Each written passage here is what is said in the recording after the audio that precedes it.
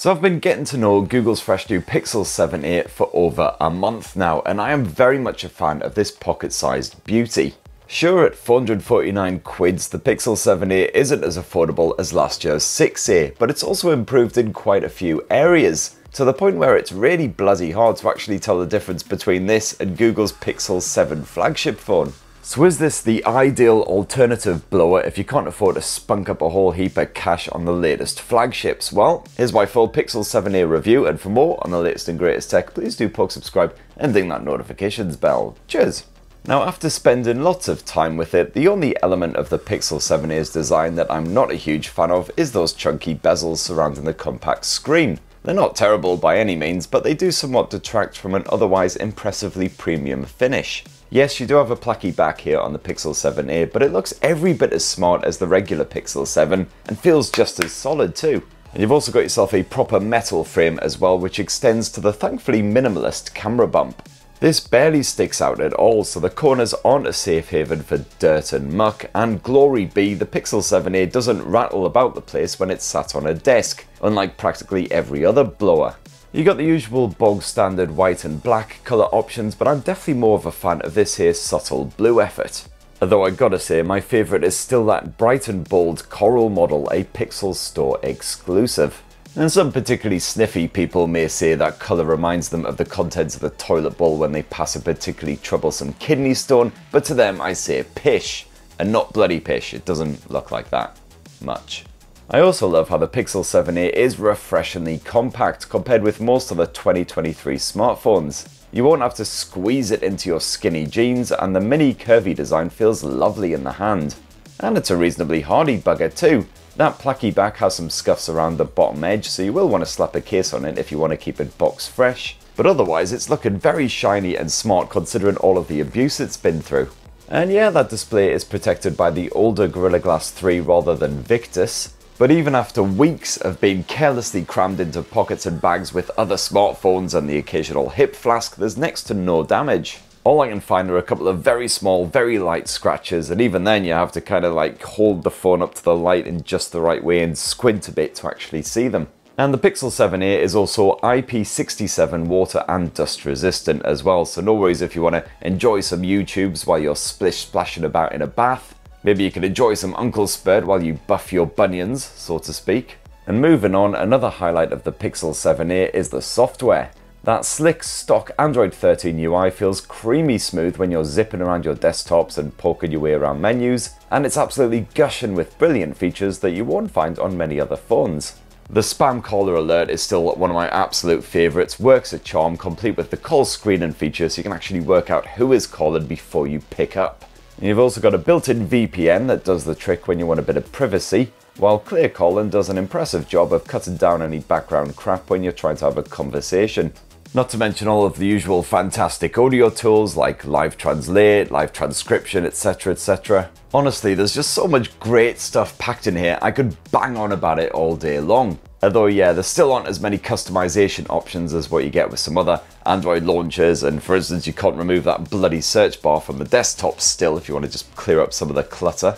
No complaints on the security side, Google is promising at least 5 years of security patching, while also storing your privates in a separate Titan M2 chip to keep it all safe. And thankfully, pretty much all of the jankiness that I experienced in my first week or two with the Pixel 7a has been kicked square in the crotch, courtesy of a couple of well-timed updates. So no more apps just shutting themselves down because they seemingly can't be asked anymore. However, I did rather swiftly fill out 128 gigs of storage and with no micro SD support here, I have had to delete some of my downloads to free up space. I guess I'll somehow have to make do with just the 10 gigs of super strength hentai. Sigh.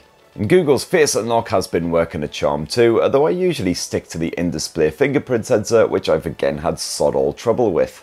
Now while last year's Pixel 6a dialed down the display tech to a more basic 60Hz panel, there's no compromise with this year's 7a. It's a fully fledged willy waving 90Hz GOLED screen just like the regular Pixel 7, except a wee bit smaller. Those compact dimensions combined with a full HD plus resolution means that your photos, your Netflix shows, your illegal hentai videos, they all look gorgeously pin sharp. While the standard HDR10 smarts are present and correct, serving up crispy contrast and realistic looking colours. However, I gotta say the Pixel 7a's display isn't the brightest one around by any means. On a sunshiny day, which we've actually had occasionally here in Blighty this past month, I do occasionally struggle to see what is going on on this panel even when I boost that brightness to the maximum levels. I found I could just about check out messages and read websites and such forth, but certainly if you're wearing shades it is a struggle, and if you basically live in a hot country, you might want to look elsewhere. No problems with the auto brightness though, that behaved itself perfectly. And also the Pixel 7a's dual speaker arrangement is decent, but it could do with being a bit louder. Even on that max volume, when I was trying to watch something when my kid was in the same room as me, I basically had no chance of following along. You know, I should be off in the corner doing cartwheels and crashing into stuff and chasing the cats with a pizza cutter and all the dumb stuff that kids love to do. And I'd just be sat there going like, what? Huh? What did that guy just say? Rewind. And then of course just give up and shove in the old earbuds instead. And it's a shame because the audio quality is pretty good from those speakers, but no worries because I had zero issues with the Bluetooth streaming. You got strong codec support, no juddering or other shindiggery. And the Pixel 7a is also pretty much on par with the Pixel 7 when it comes to the performance, rocking Google's same Tensor G2 chipset as co-manufactured with Samsung. And yes, the question on everyone's lips is, does the Pixel 7a ever get a bit toasty? Just maybe a wee bit burny? And the answer is yes, it can run a bit hot sometimes, especially when you're using it outdoors in the full glare of the midday sun. It is certainly not a fan of sunshine, much like myself, a bold northerner with less melanin than a f***ing deep sea squid. Thankfully, however, I haven't seen any performance issues on the Pixel 7a when it does heat up, nor slowdowns, certainly no hard resets like what I've seen in previous Google flagships. And if anything, in winter I'd imagine it'll be quite a pleasant hand warmer.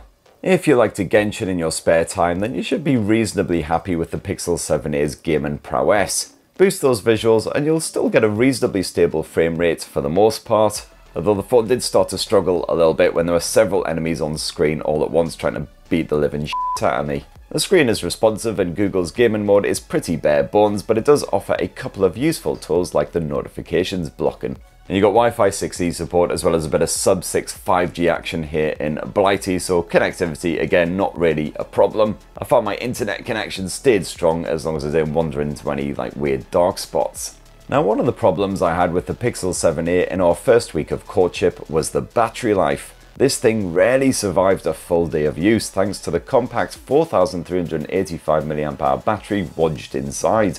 After a few days the situation did improve though and thankfully now the Pixel 7a usually lasts me a full day on a single charge, no worries, although I have come sphincter clenchingly close to draining the wee bugger when I've been catching the last train home after being out all evening. You can generally expect around 5 to 6 hours of screen on time from a full charge, depending on how much music, podcast, etc. streaming you're doing in the background when the screen is hibernating. Although that battery does drain alarmingly fast when you are Skyping, Zooming, doing something that's using the cameras. So not the best effort around, and certainly if you are a power user who's like never off your smartphone, you'll probably want to look at a bigger alternative. And while that 18 watt wired charging is woefully slow compared with some Chinese rivals, at least you do have wireless charging support as well, which is still reasonably rare at this sort of price. So last up, it's the camera shenanigans, and the Pixel 7a rocks a fresh 64 megapixel Sony IMX787 sensor, sat alongside your typical ultra-wide angle shooter. This new hardware, combined with Google's image processing chops, is a solid combo in most circumstances so I was happy enough with the majority of my test photos. The lens does a dependable job of locking onto your subject following an update, even if the scene is rather messy, while images are impressively lifelike rather than manipulated to look more pleasing to the eye. If it's a sunny day, you'll have to be a little bit careful to avoid any lens flare, but otherwise the Pixel 7a can cope well with harsh backlighting. HDR ain't a problem, with blue skies capably captured. Those portrait chops are pretty decent too, this phone can even deal with crazy windswept hair and furry subjects like this wee chap. Ambient snaps can look a little bit soft at times, those textures and facial features can be just a wee bit too smooth, but colours are usually on point and as long as there's no rapid movement then you'll get sharp enough results. My indoor pics had plenty of finer details packed in there. Your manual controls are limited to EV and contrast basically, If you want anything more complex than that, then you're going to have to look at an alternative blower. But those on-screen sliders work really, really well and they can rescue an otherwise murky looking shot. And this comes in handy at times in the evenings, although this blower does a solid job there too. Strong lighting can pose a problem in a night scenario, but otherwise it's all good. We're talking not much noise and a reasonable amount of detail. Now that 13 meg ultra wide angle shooter is another Sony IMX special and photos shot with this are rather consistent. Once again producing natural tones just like the primary shooter, if not quite as much detail. Although unfortunately the distortion is rather bad which heavily distracts. And there's no telephoto shooter here, just like the regular Pixel 7 and pretty much every other mid-ranger you'll find at this sort of price point. So the Pixel 7a is limited to a mere 8 times digital zoom. The Pixel 7a can also record up to 4K resolution video and it's certainly fine if not remarkable in this department. Visuals are sharp and well defined as long as you're not shooting in the dark and even in the evenings you'll usually get something that works. That focus still occasionally pops, especially if the lighting sucks, but the stabilization is good enough for moving about and recording, even at that Ultra HD level. Audio capture is also good as long as the environment isn't too noisy and there's not much wind. And last up, that 13 meg selfie snapper is okay-ish. It's not the worst, but it's pretty bog standard stuff, pumping out soft, bland snaps if the lighting ain't great. If you're obsessed with posting pics of your gun and mug online, you may be swayed by another handset like the Galaxy A54. So that in a nutshell, my lovelies, is my full final frank review of the Google Pixel 7a after spending a month with it. And while it's by no means perfect, it does offer pretty stunning value for money at this sort of price point. It's incredible just how much Google has crammed into this thing for under 500 quid. But those are my thoughts. Hey, it'd be great to hear what you guys at home reckon about the Pixel 7a. Are you tempted? Have you already got one? Let us know down in the comments below. Please do poke subscribe and ding that notifications bell for more on the latest and greatest tech and have yourselves a ruddy wonderful rest of the week. Cheers everyone. Love you.